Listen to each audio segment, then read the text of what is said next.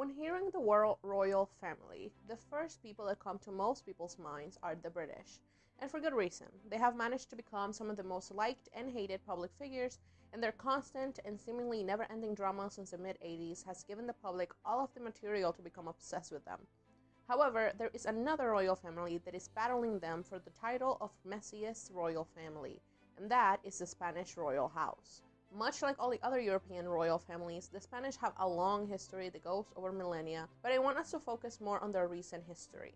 Also, I'm going to be mostly focusing on their interpersonal drama and not so much on their history. So, if you want to learn actual Spanish history, this video is not the place. Now, with all that being said, let's get into the video. I'm going to start with Alfonso XIII of Spain. I'm not going to talk too much about him, this is just context for the rest of the video. Alfonso was born on May 17, 1886 and he was declared king five days after being born because his father, Alfonso XII, died suddenly on November 25, 1885.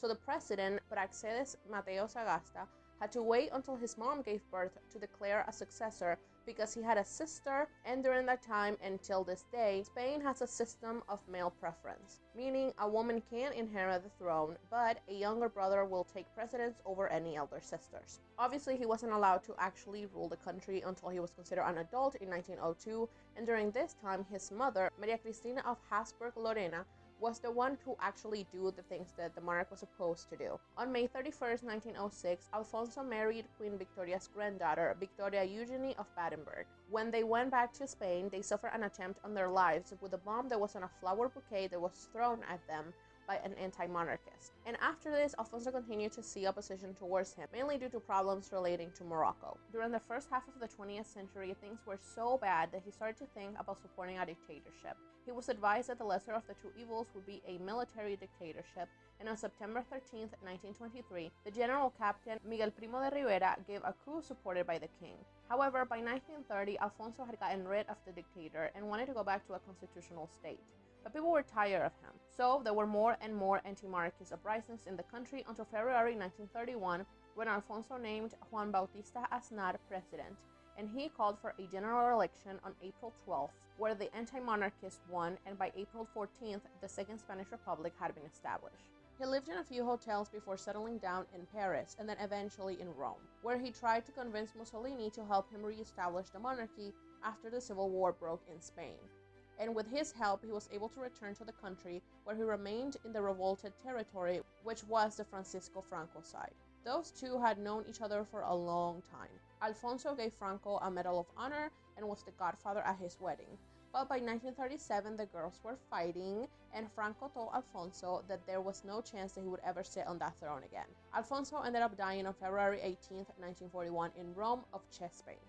Alfonso had five legitimate children. According to Google, he had 13 kids total, but obviously only the legitimate ones count, two of which were girls, and the other three were Alfonso of Bourbon and Battenberg, born in 1907, Jamie of Bourbon and Battenberg, born in 1908, and Juan of Bourbon and Battenberg, born in 1913.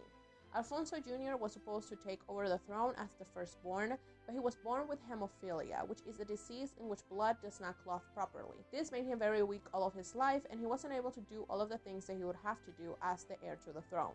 On top of that, after the family was exiled, he fell in love with a Cuban woman that wasn't a member of royalty. So his dad told him that he had to give up his position. After him came his brother Jamie, who had become deaf at age 4 and also was asked by Alfonso to give up his position in the succession, as he didn't think that his disability would allow him to be a good ruler, which left us with Juan as heir of the throne. Juan of Bourbon and Battenberg was the third son of King Alfonso, born in 1913. In 1936, he tried to go back to Spain with his father, but he was intercepted and forced to go back to exile, after which he sent a letter of apology to Franco. After the war ended, he sent another letter congratulating him, and Franco responded by praising his attempts at joining the army. In 1941, he tried to convince Germany to help him re-establish the monarchy, but they turned him down. And by the end of 1942, he started to publicly show interest on the throne and distance himself from Franco's government. In November of that year, he released what is now called the Geneva Manifesto, which was like an interview that he gave to a newspaper where he says that the monarchy would be reestablished and that under his rule, all Spaniards will be able to coexist. In 1943, Juan sent a letter to his supporters in Spain asking them what they thought would be the best way to get rid of Franco. Franco got a hold of this letter and sent the ambassador of Spain in Sweden to talk to Juan about it. Juan's response was that he was annoyed at the lack of action on Franco's part to reinstate the monarchy. In 1945, he released the Lausanne Manifesto, where he asked Franco to step down and allowed the reinstallation of the monarchy because he believed that this was the only way to achieve peace in the country, given that the Allies had won the war. The manifesto was repressed in Spain but was published by the BBC. Juan also asked the people who worked in the government to quit if they supported him, but only two people did it. And after that, Franco swore that while he was alive, there would be no monarchy in Spain. Two years later, in 1947, Franco passed the law of succession in the head of state, where he states that he can choose anyone, anywhere, and for any reason to be the heir to the throne so that he and his party could keep control of the monarchy. Juan, of course, rejected the law on the Estoril Manifesto and said that the only person who could inherit the throne was him and his family. All of this drama made the idea of the monarchy even less popular in the country, so Juan had to change strategies. He decided to meet up with Franco, and they made an agreement that Juan's son, Juan Carlos, would be educated in Spain under Franco's guardianship, and throughout the 50s, Juan continued to try and get Franco to reinstate the monarchy. In 1956, a tragedy that we will talk about a little bit later led to Juan's brother Jaime trying to reclaim the throne and demand an investigation into the tragedy. The following year, Juan aligned himself with a traditional conservative movement called Carlistas or Traditional Communion, who had previously tried to assign a king that was not related to Juan. On July 12, 1969, Franco sent Juan a letter letting him know that he had finally chosen his son Juan Carlos as his heir. On the 23rd, Juan Carlos swore in front of the court of the principles of the national movement and the fundamental law, the legal scaffolding of Francoism.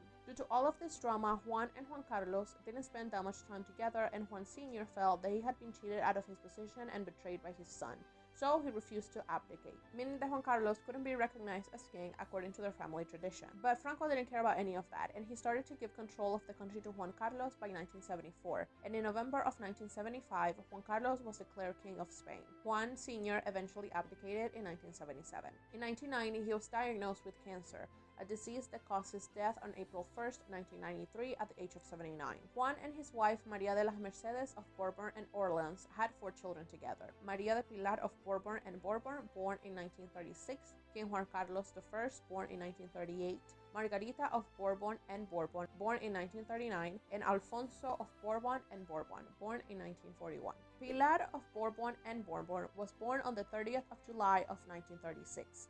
She was a nurse. She studied nursery at the Artur Ravara Higher School of Nursing. She actually worked as a nurse in 1963 when the ceiling of a Portuguese station fell down and she was sent to the Dos Capuchos hospital to treat patients. Because of this, she ended up receiving a medal from the Portuguese government. Her dad tried to marry her off to Balduino of Belgium. She was sent to Belgium with Fabiola of Mora and Aragon, who was a Spanish aristocrat but the king ended up falling in love and marrying Fabiola. Pilar eventually got married to Luis Gomez Acebo. Her family was originally against the marriage because they thought that she should have married someone with royal blood and he only had a noble title. They met at the house of the last king of Bulgaria who was married to Louis's cousin and they got married on May 5th, 1967 in Portugal. Because of this marriage, Pilar and her children lost their position in the line of succession. Pilar was mentioned on the Panama Papers. If you don't know what those are, those are papers that mention a bunch of high profile people who were opening accounts in Panama in order to avoid paying taxes. Pilar had one of those accounts for 40 years. She started it in August 1974, one month after her brother basically became head of state because Franco was too sick to rule, and it was dissolved five days after her brother abdicated the throne in June 24, 2014. Pilar admitted to having this account, but said that she never avoided paying taxes in Spain. She said that the account was owned by a friend of hers and that her husband decided to take part in it as a way to have projects outside of Spain in order to protect themselves financially from any instability in the country in regards to royalty, which was not something that was uncommon at the time. And that she ended the account because they didn't have any more money and not because her brother abdicated. Pilar passed away on January 8, 2020 in Madrid after having complications with colon cancer. Pilar and her husband had five children. Their firstborn was Simoneta Gomez Acebo, born on October 28, 1968. She got married in 1990 to the son of the founder of Galerías Preciados, which was a big department store chain in Spain. They had three kids together and got divorced in 2012 after being separated for three years. Then we have Juan Filiberto Nicolas Gomez Acebo and Bourbon. He was born on December 6, 1969. There isn't much information about him other than he had a son in 2013, got married in 2014, and got divorced in 2019. Next, we have Bruno Alejandro Gomez Acebo and Bourbon. Again, much is not known about him. He got married in 2002 and has one kid. On the more scandalous side, he was sued in 2016 by his cousin, who is the great grandson of Francisco Franco, because Bruno has stopped paying his cousin Luis Alfonso the rent for the apartment that he was renting him. The rent was 3,000 euros and he hadn't paid it since 2012, meaning he owed Luis Alfonso 145,000 euros. Bruno countersued his cousin, saying that he had done some renovations in the house with his own money and that because of that he shouldn't have to pay the money back. Luis ended up winning and Bruno was ordered to pay 99,448.41 euros. He was also involved in a different scandal when it was found out that his uncle Juan Carlos had helped him set up a venture capital fund in the United Arab Emirates to invest anywhere from 550 million to 1.1 billion euros to build infrastructure. Next we have Luis Beltran Alfonso Gomez Acebo and Bourbon. He was born on May 20th, 1973. He married the model Laura Ponte Martinez in 2004 and together they have two children. They got separated in 2009 and divorced in 2011. And in 2016, he remarried and had a child with his new wife. Pilar's last child is Fernando Humberto Gomez Acebo and Bourbon. He was born on September 30th, 1974. He got married in 2007 and divorced in 2011. In 2016, he suddenly married a Greek woman with whom he had a child a few days later and divorced in 2017. Next, we have Margarita of Bourbon and Bourbon. She was born on March 6, 1939. Margarita was born blind, but she was very good at learning languages and had a strong affinity for music, especially rock and electronic music. She gave up her succession rights after marrying the doctor Carlos Emilio Juan Zurita y Delgado because he was not a member of royalty, so she and her children are out of the line of succession. In 1989, she and her husband created the Dukes of Soria Foundation, which is a non profit cultural organization she is also an honorary president of UNICEF Spain and the National Organization of the Spanish Blind, of the Spanish Heart Foundation, and the Spanish Federation of Hemophilia. A hospital was also named after her, and she received an honorary doctorate in 2009. Margarita and her husband had two kids together. The firstborn is Alfonso Carlos Zurita and Bourbon, born on August 9, 1973. Not much is known about him. He has a long lasting girlfriend, but he has never been married or had children. He's apparently an economist and has written seven books about it. Their other child is Maria Sofia Emilia Carmen Zurita and Bourbon, who was born on September 16, 1975. She became a single mother in 2018 through artificial insemination. She has appeared on The Spanish Mask Singer, on Spanish Master Chef, and is the head of a multitude of organizations. Before we talk about King Juan Carlos, let's first talk about his little brother Alfonso. Alfonso was born on October 3, 1941. Remember how I mentioned earlier that there was a tragedy that took place that made their uncle try to reclaim the throne? Well, that tragedy was the passing of Alfonso at the ripe age of 14 years old. So, in March 1956, Alfonso and Juan Carlos were sent to Portugal to spend holiday week with their family. Alfonso was still in high school and Juan Carlos was going to a military school in Zaragoza. On the 29th of March, it was Holy Thursday, it was a normal day. Alfonso went with his family to Mass, and in the afternoon, he was supposed to play in a golf tournament. He was apparently a really big golfer, like his dad, something that had brought them together. Alfonso competed and won the semifinals, after which he went back home with his brother and dad. After everybody went back home, Juan Carlos and Alfonso went upstairs and they were playing with a broken gun. It was a small revolver which was supposed to be inoffensive, but while Juan Carlos was holding it, it shot a bullet straight into Alfonso's head. It is said that when Juan Sr. found them, he tried to save Alfonso, but it was too late, so he covered Alfonso's body with a Spanish flag and made his oldest son swear that he didn't do it on purpose. Because remember that Juan Sr and Alfonso were close, and Juan Jr. and Sr. were not. The Portuguese press released a statement sent to them by the Spanish embassy in which it was said that Alfonso shot himself while cleaning the revolver because Franco didn't want people to know the truth. But very quickly it came out that Juan Carlos was the one with the gun. Allegedly, Juan Carlos told one of his friends that he pulled the trigger, but that he didn't know that it had bullets in it, and that the bullet first hit the wall and then his brother. According to his mom, they had been forbidden by their dad to play with the gun, but they didn't listen. She too believes that Juan Carlos accidentally shot his brother, and also she was the one who opened the safe where the gun was being kept. Lastly, Pilar said that Juan Carlos was carrying the gun and some snacks for them to eat, and that when he opened the door, he pushed it with his shoulder. The door hit his arm, which made the gun go off. Alfonso was buried on March 31st in Portugal, where he remained for 36 years until 1992 when his father requested that he be brought back to Spain, where his remains currently rest. Now that we've talked about all of Juan's children, let's talk about King Juan Carlos I. Born on January 5th, 1938. As mentioned earlier, his father and Franco made a deal in 1948 that Juan Carlos would be educated in Spain and Franco would become his guardian. So on November 9th of that year, Juan Carlos was sent to Madrid for the first time in his life. He was assigned eight kids that were outstanding either for how smart they were or for their aristocracy bloodline to become his friends and classmates. And through this, they found out that Juan Carlos presented signs of dyslexia and had a hard time keeping focus in class. By the summer of 1949, the relationship between Franco and Juan Sr. had deteriorated a lot. So his father decided that Juan Carlos should stay in Portugal with his family, but by autumn 1950 he was sent back to Spain with Alfonso. In 1954, Juan Carlos met who would become his future wife, Sofia of Greece. I will talk more about her and their relationship in a minute, but they met in 1954 during a cruise ship that was created with the intention of promoting Greek culture and finding suitable partners for the young princes and princesses of Europe. At this time, she was 15 and he was 16, but nothing happened between them at all because they were both busy dating other people.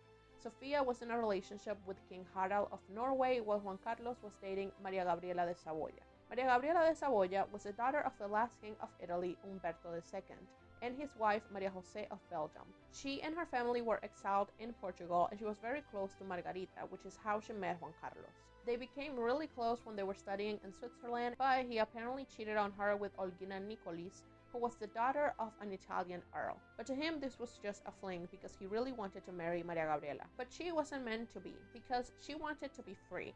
She really didn't care about all of the royalty nonsense because she didn't have to. And years later, she even said that the monarchy required too many things from people in it, and if you didn't do it, that you would end up like Lady Diana. So she really didn't want any of this. She wanted to be free and have fun, and that's what she did. Also, Franco didn't like her because of her personality, so Juan Carlos wouldn't have been able to marry her even if he wanted. In 1956, he shoots his brother, accidentally or not, and after all of that happens, after his brother's burial, it is said that his dad got on his car and drove to the coast where he threw away the gun and said, No policeman can examine the weapon, no judge investigate the facts, no coroner examine the corpse. Only Juan Carlos knows what happened in that room, after which he was promptly sent back to Spain. On June 8, 1961, Juan Carlos meets Sofia once again at a wedding. Let's quickly talk about Sofia. She was born on November 2, 1938, to the former king and queen of Greece. She and her family were exiled during the Second World War and lived in Egypt, South Africa, and London throughout it. After the war ended, the monarchy was re-established in Greece and her parents became king and queen in 1947. When the two reunited, they were both single, and it seemed that they were the perfect person for each other. This was not a marriage out of love, but out of convenience. So much so that they couldn't really communicate with each other because he couldn't speak English and she couldn't speak any Latin language. Sofia needed to marry a future king, and Juan Carlos had to marry someone who was part of a reigning monarchy. Franco liked Sofia, and the rest is history. The pair got engaged on September 13, 1961, and it is alleged that Juan Carlos threw the ring at her and told her to catch it. This marriage was a big drama. First of all, they had to figure out when the wedding was going to take place. Her dad wanted the beginning of 1962, his dad wanted June of 1962, so they compromised and got married in May. Another issue was their religion. She was a Greek Orthodox and he is a Catholic, so they needed to figure out a way to please both publics. What they decided to do was to have two weddings.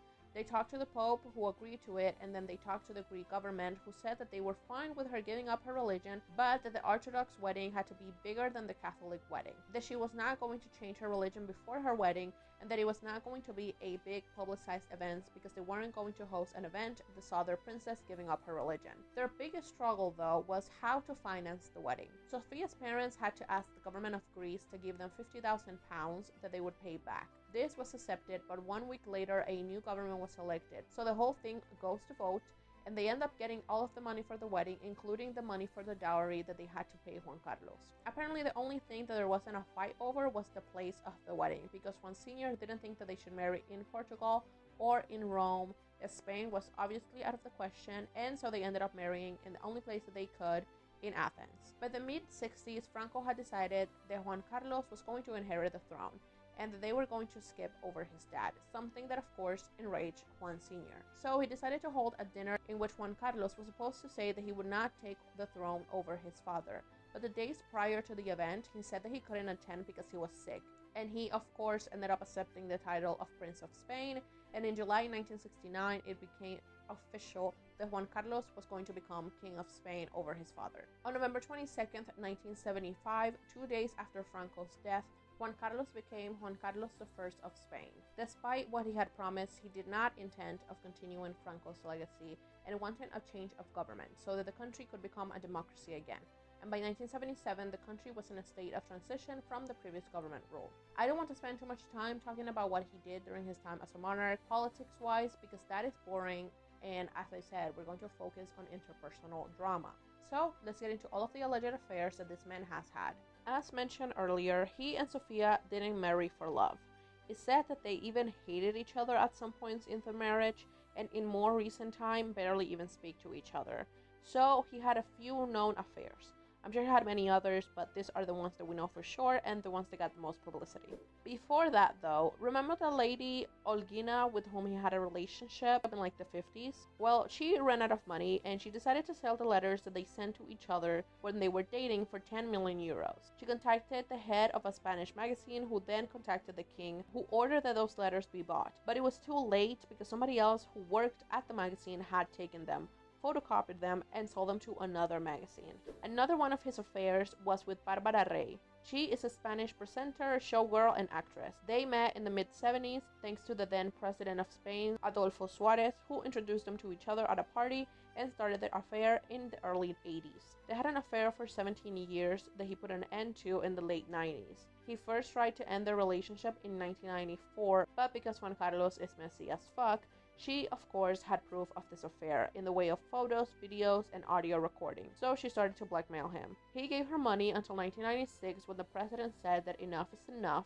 and Barbara said that they should just give her a big sum of money and she would forget about everything. So they set up a bunch of accounts to send the money to. Originally, it was rumored that the money came straight from the government, but later it was said that the money came from Juan Carlos's friend and that the government was just setting up the accounts. Their relationship became public knowledge in 1997 when Barbara's house was robbed and they took everything that she had on the king. So she went to the police and told them that her house had been robbed to protect someone high in government. On top of the robberies, it was also said by her that this person had threatened to kill her and her children. She eventually gave an interview in which she said that she wasn't keeping evidence, that everything she had was with the consent of the other person, and that they were just friends. Some of the tapes were eventually revealed during a documentary that came out last year called Save the King on HBO, and in them they were calling each other nicknames and planning to meet up. Moving on, we have Marta Gaya. They two met in the 80s at the Mallorca Sea Club. The rumors about this relationship came up thanks to the Spanish media.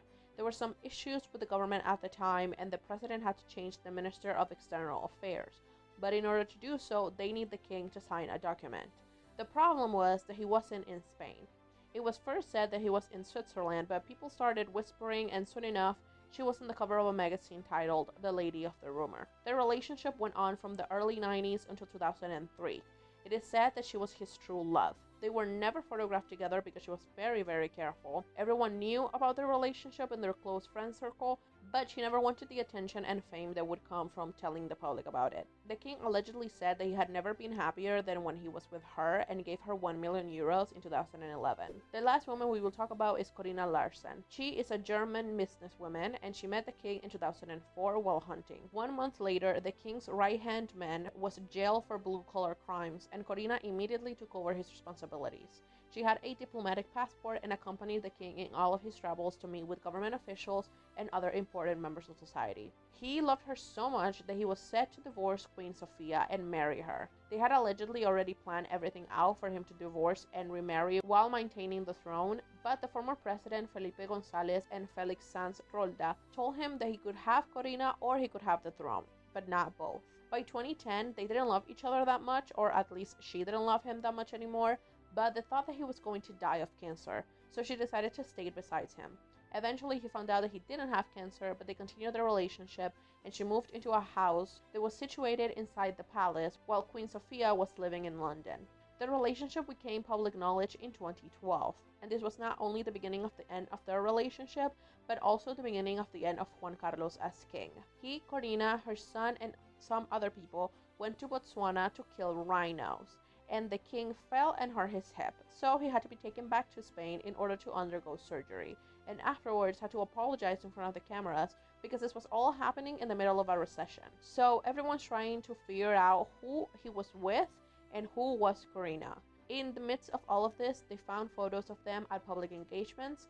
People also found out that he and Queen Sofia were basically separated and the Corinna was basically living in the palace. On top of this, there was also a photo of Juan Carlos with one of his friends in front of a dead elephant, which further destroyed the king's public image. The very last incident that eventually led to his abdication happened in January 6, 2014, during his speech at the military Easter event, where he was stuttering and mumbling the words that he was reading. It was later revealed that he was basically hanged over because he had spent the entire prior week celebrating his birthday in London with whom he called his real family, aka Corinna, her ex husband, and her son, and some other friends of them and since his flight had been delayed until the early morning of the 6th, he was barely able to sleep. On June 2nd, it was officially announced that Juan Carlos will be abdicating the throne, and the official event took place on June 18th. In 2018, some tapes came out between the king, Corinna, and two of their friends. In these audios, Corinna accuses Juan Carlos of charging commissions which would amount to 100 million euros for the works of the Mecca Medina high speed train line, as well as hiding his money in Switzerland. During the conversation, Corinna said that the king had used her to buy numerous properties, even behind her back. He apparently also gave her 64 million euros, and once their relationship ended, he told her to transfer her assets to his cousin, but she was afraid that if she did so, she was going to be involved in money laundering, and that's when their relationship ended. This is not the only money related scandal that Juan Carlos had. He also opened at least two different shell companies in Panama and Switzerland he and the rest of the family were also accused of using black cards between 2016 and 2018 to pay for personal expenses, and he also had a 10 million euro trust in Jersey Island. All of this in order to not pay taxes. All of these legal issues led to the king leaving Spain in August 2020 and being exiled for two years. His son Felipe, who inherited the throne, also renounced to his inheritance, which came from the shell companies he set up, and said in a speech that the moral obligations of the monarchy are more important than family ties. The king eventually went back to the country on May 19th of 2022 and left once again on the 23rd of the same month. Juan Carlos and Sofia had three children. Elena of Bourbon and Greece, born in 1963, Cristina of Bourbon and Greece, born in 1965, and King Felipe VI. Elena of Bourbon and Greece was born on December 20th, 1963. In 1994, it was announced that she was engaged to Jaime de Marichalar and Sáenz de Tejada, who is the son of an heir. They had met through a mutual friend and they ended up getting married on March 18, 1995. In November 2007, it was announced that the couple was separating, but they said that it wasn't a divorce just yet and Jaime was allowed to use his royal titles. Still, Elena moved out of their family home into an apartment near it. It was alleged that Elena had said that Jaime had a drug addiction in order to try and ask for an annulment of their Catholic marriage, but both of their lawyers denied this. Whatever it was, it was really bad because on December 15, 2009, the pair signed their divorce, which was officialized on January 21st, 2018, and the divorce file is supposedly kept in a safe with exceptional security measures. This couple had two kids. Their firstborn was Felipe Juan Froilán de Marichalar and Bourbon, born on July 17, 1998. He had his first big scandal in April 2012 when he, his father, and his sister were at a family farm when he shot himself. His father had to appear before the civil court because Felipe was under 14 and people under that age cannot carry guns in Spain. But the judge closed the criminal case against Jaime, claiming that there wasn't serious negligence.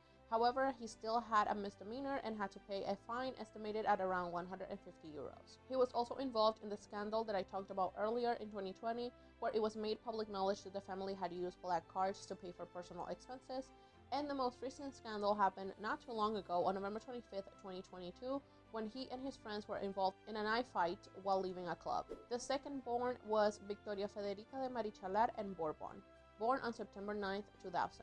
There is not much to say about her. I couldn't find much information regarding her private life, but she has the same reputation as her brother and her mom for having a bad temper and just not being likable and enjoyable to be around. Cristina of Bourbon and Greece was born on June 13, 1965. In April 1997, rumors about a relationship between Cristina and the handball player Iñaki Urdangarin started to come out. On the 30th, it was announced by the palace that the couple was engaged, and in May, it was announced that they would get married on October 4th. Towards the end of 2011, Iñaki and his business partners were investigated in relation to a corruption case. This happened after the government discovered in 2007 a suspicious imbalance of more than 50 million euros in the account of the newly opened Palma Arena Sports Center. On July 22, 2010, the examining magistrate of the Palma Arena case Jose Castro opened a new piece in the case in which he requested information on the agreement signed in 2005 and 2006 between the Illesport Foundation, the Balearic Tourism Institute, and the Nóos Institute, shared at the time by Iñaki. Through a statement, Zarzuela Palace removed Iñaki from his official acts on December 12, 2011. Iñaki's statement with the investigators lasted more than 22 hours during the 25th of February 2012 and early morning of February 27th. He declared that he was unaware of the existence of companies to divert public money and blamed Diego Torres, who is the former vice president of the institute. The newspaper El País found a document of a suspicious budget for an international event that the Nóos Institute organized when Iñaki was in office. It is believed that he persuaded several public administrations to sign agreements with this institute, which was supposed to be a non-profit organization both for work, which was never done, and others with exorbitant budgets of up to 5.8 million euros from public administrations. On December 19, 2012, the anti-corruption prosecutor requested a bond of 8,189,448 euros for Iñaki, his former partner Diego Torres, and the companies managed by both of them. At the beginning of 2013, the royal house deleted from its website the page that corresponded to Iñaki as a member of the royal family and only left his name and image as husband of Cristina on her personal page, as well as asked Iñaki to stop using his royal titles. In May 2014, the tax agency confirmed to Judge Castro that Iñaki defrauded more than 240,000 euros in personal income tax from the years 2007 and 2008 and on February 17, 2017, Iñaki was sentenced to six years and three months in jail and a total fine of 513,553 euros. Iñaki filed an appeal before the Supreme Court, and after ratifying his sentence, which was set at five years and 10 months in prison, on June 18, 2018, he entered the Brieva prison. Iñaki was granted the third degree prison or open regimen in January 2021, and the penitentiary institution authorized his transfer to Zaballa prison once he proved that he had a job offer in Vitoria. On March 1, 2021, he entered the Alava Provincial Prison to serve the rest of his sentence in an open regime with the obligation to sleep from Monday to Thursday in the prison. On January 2022, it was announced that Cristina and Iñaki had separated, and that same day, pictures surfaced of Iñaki with a different woman called Ainhoa Armentia, who is his co worker. Cristina and Iñaki have four kids together. Juan Valentin Urdangarin and Bourbon, born on September 29, 1999, Pablo Nicolás Sebastián Urdangarin and Bourbon, born on December 6, 2000, and who is a handball player like his dad, Miguel Urdangarin and Bourbon, born on April 30, 2002, and Irene Urdangarin and Bourbon, born on June 5, 2005. The last born of King Juan Carlos and Queen Sofia is King Felipe VI, born on January 30th, 1968. His first public relationship was with Victoria Carvajal. Victoria's dad actually went to school with King Juan Carlos, and Victoria and Felipe met in school. They had puppy love, they were teenagers, and their relationship ended soon after it started, but they're still friends. His next girlfriend was Isabel Sartorius. Their relationship started in 1989 during a dinner with their friends. She was 24 and he was 21. They liked each other a lot, and she seemed perfect for the role. Her parents were rich, they were aristocrats, she wanted to be a diplomat, she spoke multiple languages, she was beautiful, but his family didn't support their relationship due to the fact that her parents were divorced and her mother had a drug problem. Her stepmother, Nora Liechtenstein, which is another European royal family, actually called Sofia and asked her to ask the press in Spain to chill because of the negative way in which they were covering Isabel and how it was affecting her, which they thought was happening because Juan Carlos didn't like her, but to no avail. So Isabel told Felipe to put out an official statement to make their relationship public, but he refused to do so and she broke up with him. They got back together three months later, but it was the same thing. She begged him to make the relationship official and him saying no. Until 1991, when a statement was released saying that the relationship that had never been confirmed had ended. But according to some journalists, they continued to date in private until 1992. It is also alleged that her stepmother, Nora, called Sofia to tell her that they had a problem because Isabel was pregnant. But Sofia told them, no, you have a problem, we don't. Now, this is all rumors, and Isabel ended up marrying Javier Soto, who is the father of her daughter. Much like Victoria, Isabel is still friends or friendly with Felipe, so much so that in 2010, she and his wife Letizia were photographed having coffee while their daughters played around. And honestly, I don't think this would have happened if Isabel's daughter was actually Felipe's daughter. In 1995, he dated the model Gigi Howard for a few months while he was visiting the USA. Nothing serious, just fun. His next girlfriend was Eva Sannum. They met in 1997 during a dinner in Oslo. Their relationship became public in 2001 when they both attended the wedding of the Norwegian prince. The relationship ended in December of that year, with Felipe talking to some journalists in Madrid.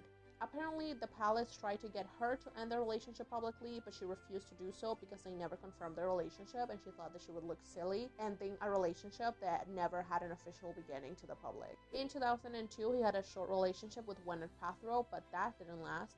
And finally, in 2003, he announced that he was dating Letizia Ortiz Rocasolano. Let's talk about Letizia on her own.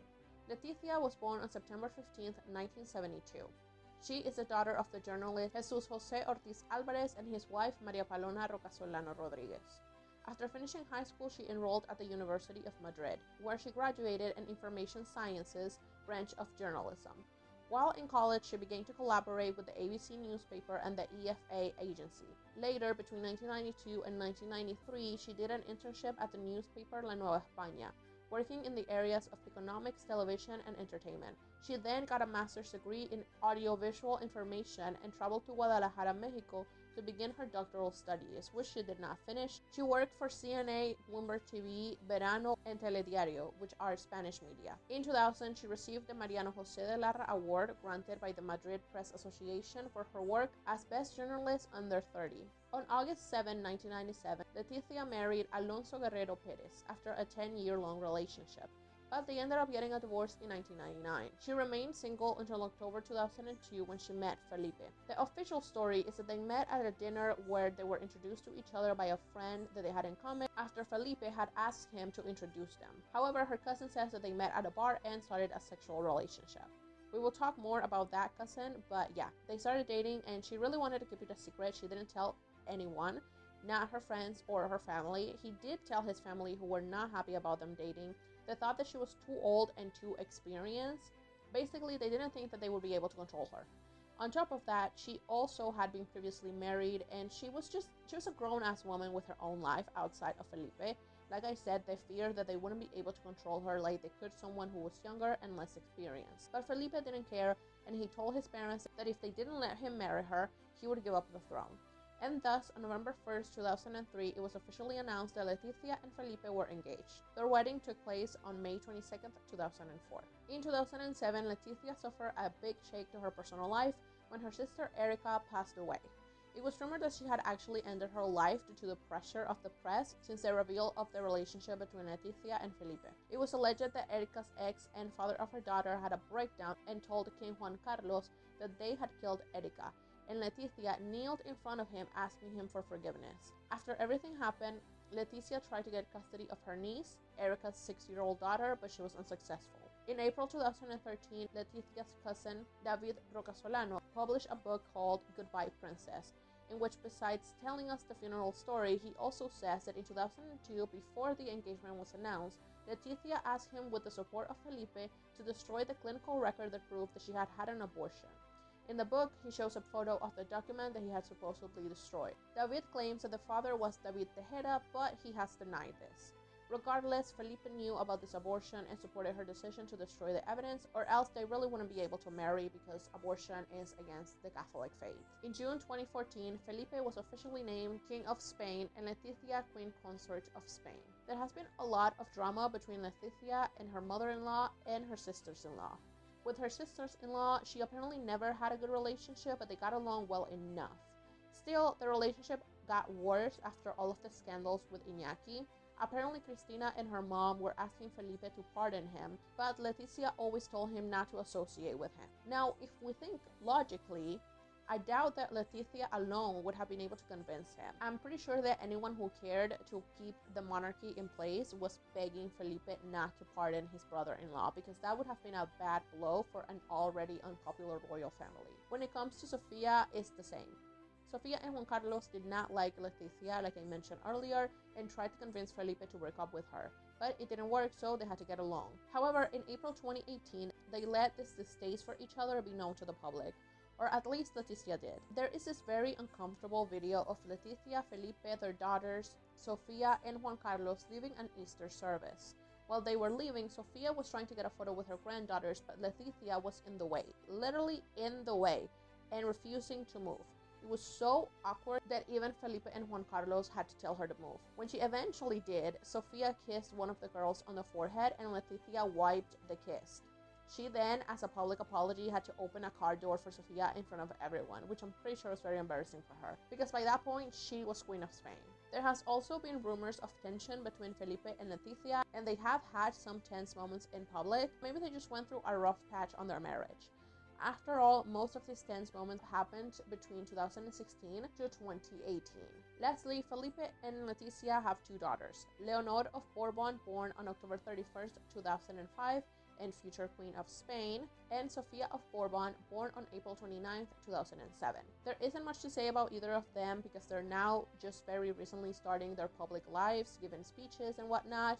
But Leonor has been rumored to be dating the Spanish football player Gavi. Anyways, that was all for today's video. Uh, let me know what you guys think of the messy, messy, messy and corrupt Spanish royal family. Uh, make sure to like and subscribe, and I'll see you in the next video. Bye!